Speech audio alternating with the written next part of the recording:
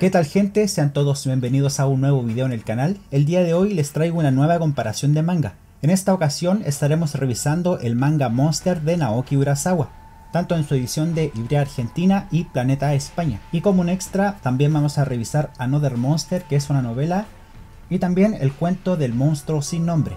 Bueno, no hay más que agregar, comencemos de una vez. Sin más dilación, vamos allá.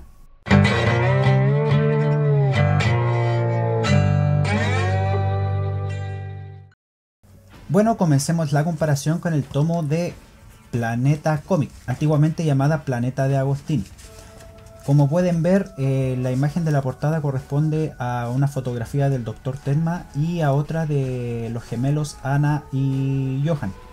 Eh, la particularidad que tienen estos tomos es que eh, los marcos donde están las fotografías tienen un pequeño relieve. Nos encontramos con la palabra Monster, volumen 1 y Naoki Urasawa que es el autor la solapa izquierda completamente limpia. Eh, en cuanto al lomo tenemos lo que es Monster volumen 1, Naoki Urasawa y la continuación de la fotografía. La particularidad que tienen estos tomos es que cuando se ponen uno al lado del otro se va formando una especie de muro como si fuese un muro con fotografías de los distintos personajes de la obra y momentos que también pasan. En la parte de atrás de la sobrecubierta tenemos eh, una pequeña reseña de lo que es la serie en español, además del código de barras y el logo de Biblioteca Pachinko. En cuanto al interior, nos encontramos con un fondo negro, con estos, con este acercamiento a los ojos del Dr. Tenma y nuevamente se repite el nombre Monster Naoki Urasawa volumen 1, además del logo de Planeta de Agostín. Eh, la sobrecubierta, perdón, la cubierta es, de, rústica de tapa blanda y con acabado mate. En el lomo nuevamente tenemos Monster volumen 1 de Naoki Urasawa y el eh, símbolo de Planeta Comics. Y en la parte trasera tenemos, al igual que como se vio con el Dr. Tenma, una imagen ampliada de los ojos de Johan. En cuanto al interior, nos encontramos con esta primera hoja de papel vegetal que corresponde a un visionado del Dr. Tenma. La segunda hoja corresponde a la del Dr. Tenma a color y comenzamos el tomo. Tenemos el índice y las primeras páginas son a color. Eh, este tomo en particular tiene 8 páginas a color. En cuanto a la traducción, el tomo es bastante neutro. Y en cuanto a la calidad de las hojas, eh, una de las grandes ventajas que tiene este tomo es que las hojas son en, papel cuché, papel fotográfico y brilloso. Se puede apreciar que brilla en la luz. A diferencia de otras ediciones que, como vamos a ver después en el tomo de Hebrea, son en papel común y corriente.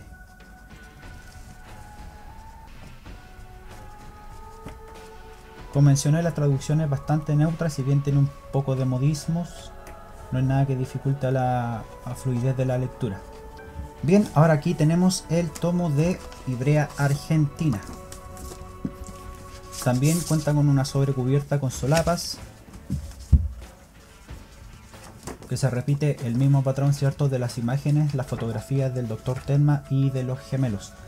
Eh, en cuanto al relieve que tienen los marcos, en el de Ibrea es un poquito más notorio, más agradable al tacto que, el de la edición de Planeta. Contamos con la palabra Monster, Naoki Urasawa, Vol 1, este también está en relieve. Eh, y nuevamente acá tenemos la imagen de los gemelos, editorial Ibrea, en dorado.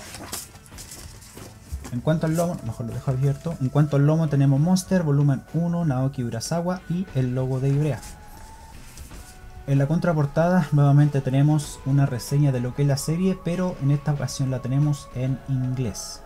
¿Por qué se dejó así? La verdad es que no tengo idea, de haber sido una decisión de, la editorial Ibrea.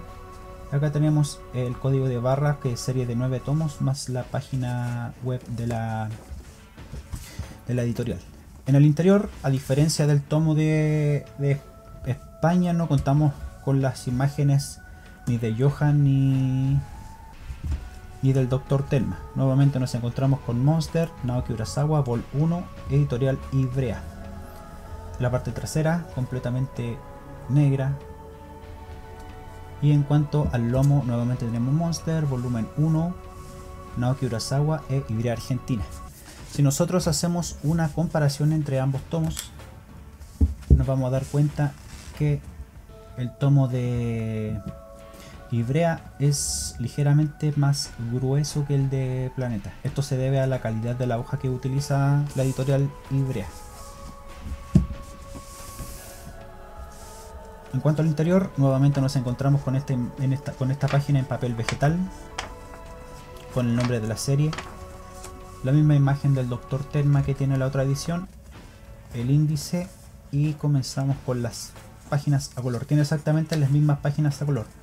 Pero como le mencioné, la diferencia es que en la edición de Planeta las hojas son, son brillosas de, papel couché, pero en este caso es un papel bond de, gramaje y grueso. Por eso mismo el tomo también es más grueso. A algunos les gustará más que a otros.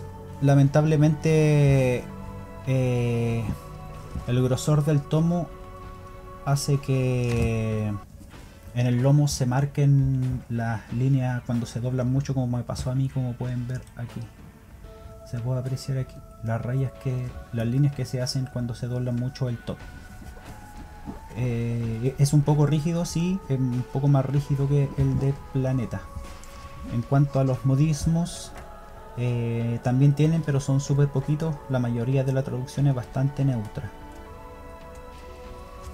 Bien.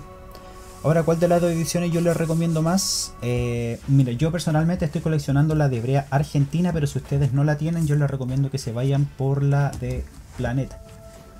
En cuanto a los pesos, la de Planeta también es un poco más pesada, a pesar de que es más delgado. Esto también se debe a que el, grosor de la, la calidad y el grosor de las hojas. Como les mencionaba, las hojas del de Planeta son en papel cuché y como brillan a la luz, eh, al momento de estar leyendo eh, reflejan un poco, así que hay gente que no le gusta esto. A mí personalmente no es algo que me moleste, pero eso ya queda a criterio de cada uno. Bien, ya revisamos los tomos, ahora procedamos a la novela Another Monster, en este caso de Planeta Comics.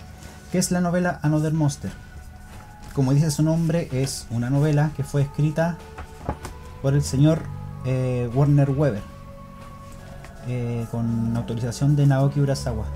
En este caso cuenta la historia de un asesino que transcurre un par de años después de, la historia de Johan y se inspira en él para, cometer sus asesinatos.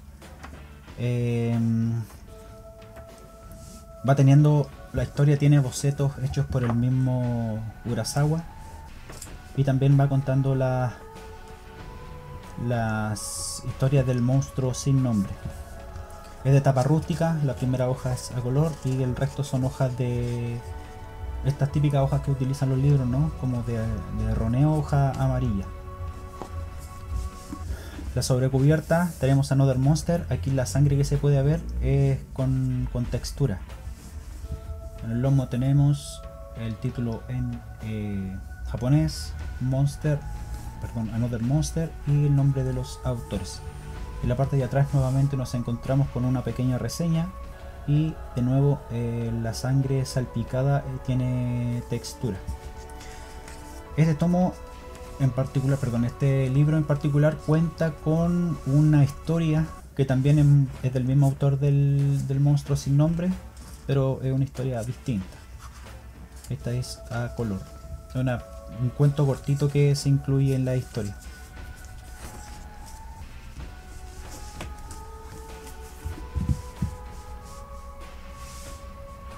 Finalmente tenemos el cuento del monstruo sin nombre. Como pueden ver, la sobrecubierta tiene esta imagen del monstruo que se mueve y va cambiando el gesto del monstruo. Eh, tenemos el nombre de los autores, eh, el título el, monstruo sin nombre y adaptado por Naoki Urasawa de Planeta Comics. En cuanto al lomo, nuevamente se repite el título de la historia. Tenemos una pequeña imagen aquí del monstruo sin nombre. y el título original de la serie en, checo. La parte de atrás tenemos tres cuentos más que se incluyen dentro de este librito, incluyendo este que fue el que le mostré recién en el de Another Monster. Vamos a retirar la sobrecubierta para que la puedan apreciar mejor.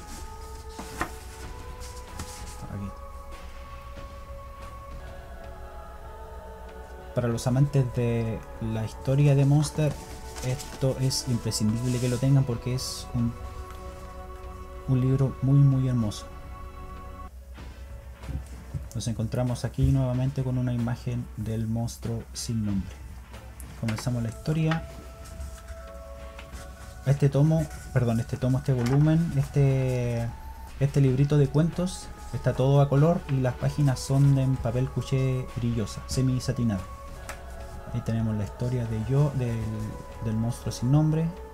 Y aquí continúa la segunda historia, la tercera historia y la última historia que es la misma que se incluyó en el tomo de Another Monster.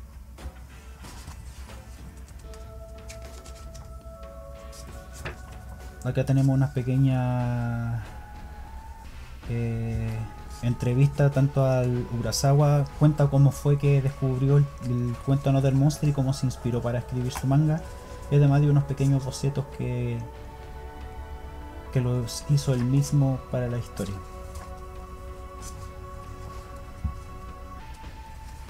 Es un libro bastante, bastante hermoso la verdad. Es uno de mis tesoros de mis libros favoritos también. Bueno amigos, hasta aquí el video con la comparación del tomo de Monster. Regálame un like si te gustó y te invito a suscribirte si aún no lo has hecho, que con eso me ayudas mucho para tener más difusión. Ahora en pantalla te voy a estar dejando otros videos que te pueden gustar. Como siempre, yo les agradezco el apoyo, me despido y hasta una próxima ocasión. Nos vemos.